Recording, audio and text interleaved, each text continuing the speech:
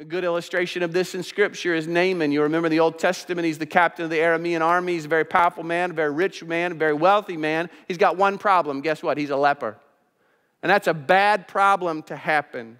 At one point, they go out on a raid and they take a little Israeli girl captive. And who does she just so happen to be the servant of? Naaman's wife. And she hears about Naaman's struggle. And she says, It's too bad you can't go see this prophet in Samaria. That guy can cure anyone. Naaman, hey, what it could have hurt. He decides to go to Israel. Check this guy out. He goes to the king of Israel. The king of Israel says, I can't cure anyone. Elijah says, Send him over to me. So Naaman goes to Elijah's house. I love this. He goes over to Elijah's house. He's a very powerful man. He's the captain of the army. This is a wealthy guy. He goes to Elijah's little hut. I just picture him a little preacher in a cul de sac, and he's upstairs. And here's Naaman knock on the door. I'd, I'd like to see Elijah. Hey, Elijah, there's this guy here. I ain't got time. I picture Elijah. He's watching the second half of the Chiefs game, and he says, I ain't leaving.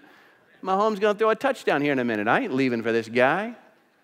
And guess what he does? He sends Gehazi. I ain't even going to mess with him. He sends Gehazi, his servant, and Gehazi goes out there to Naaman and says, Here's what you need to do. You got to go down the Jordan River and dip seven times. Can you imagine Naaman are you kidding me? Does he know who I am? Who are you? You servant? And you're going to tell me to go dip? We've got better rivers back in Aramea. What in the world? And do you realize what this takes? He's a leper. He's probably wrapped himself up, probably has only his eyes exposed. He's got to go down there. He's got to expose his leprosy, get in front of everybody, and dip seven times, not in any river, but the Jordan. And he says, That's a bunch of hooey or whatever. I ain't doing it. And his servant says, What? What do you got to lose? You can't save yourself. You're a goner. So he goes down, and guess what he does? He humbles himself. Do you know how foolish he must have looked? This wealthy, powerful man getting in a river, and he dips once and twice, and the seventh time he comes out and he's healed.